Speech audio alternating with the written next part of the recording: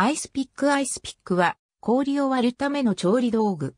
主としてカクテル、オンザロックなど酒やジュースなど飲み物に入れるための氷やクラッシュドアイスを作るために使う。形状は穴開け用道具の千枚同士を大きくしたような一本のニードルに柄をつけた形態のものが一般的である。柄尻は手や土で叩いて力を加えられるように太く、さらに金具で補強されている場合が多い。大きさや形状は様々で、氷を細かく砕くのに特化した複数の先端を持つもの、安全のため先端を覆うバネ付けのものもある。材質は水気に強いステンレス鋼のニードルに濡れても滑りにくい木製の柄を付けたものが多いが、手入れを要する代わりにより、強度の高い上質構成のもの、あるいはチタン製のもの、柄まで総金属製のものなど様々である。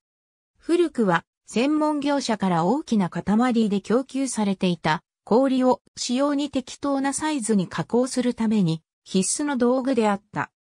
冷凍庫が広く普及した現在でも飲食店などではイメージを演出するために割れ氷を強するのにアイスピックが使用される。できた氷は綺麗な形状にはならず、いわゆる勝ち割り氷となるが、それをあえて丸氷のように綺麗な造形物を仕上げる。テクニックもバーテンダーの心得の一つとされる。